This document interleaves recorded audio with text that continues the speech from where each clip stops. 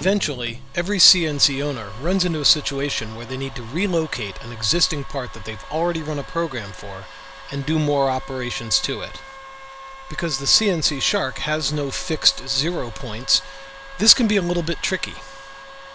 I need to recut the pocket in a part that I've already created and built.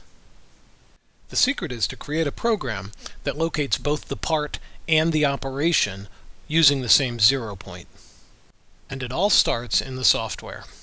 So the program includes a large area pocketed out that will hold and locate the part and includes the vectors for the actual cutting that I want to do on the part.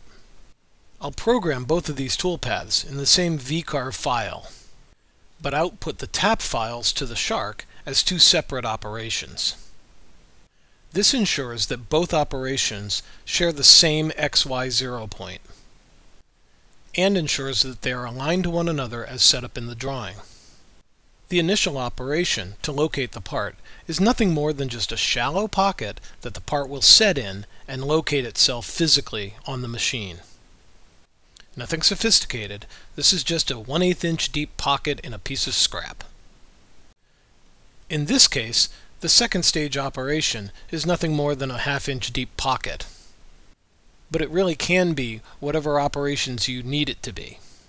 Lettering or decorative engraving, a series of holes or openings needing to be cut, or whatever it is that you require. The secondary operation could even be multiple parts in and of itself using separate tools. As long as everything shares the same XY point, that's the critical factor. The pocket simply has to be maintained as a separate operation from everything else. Here, even though I'm using the same tool for both operations, they're being sent as two separate tap files out to the CNC Shark. The physical operations are not terribly complex either. I've clamped a piece of quarter inch scrap down to my table and then set my part in place roughly where I want it. Mark the rough location of the pocket and a specific point to set my X and Y zero to. And then I just cut the locating pocket with the Z set specifically to this piece of scrap. I've now created a fixture that my part can be located onto and secured in place, just as I set it up before actually cutting the pocket. And now, without changing the X and Y zero points, the Z can be reset for the new operation.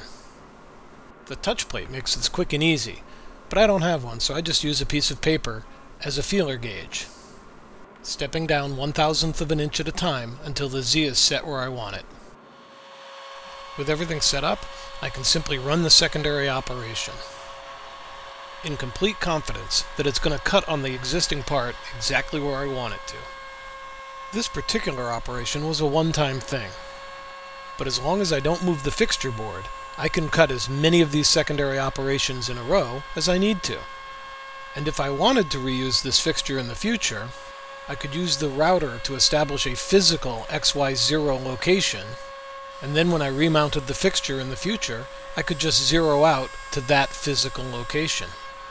So the next time you run into a situation where you need to do a secondary operation to a part that you've already made, you'll know how to do it.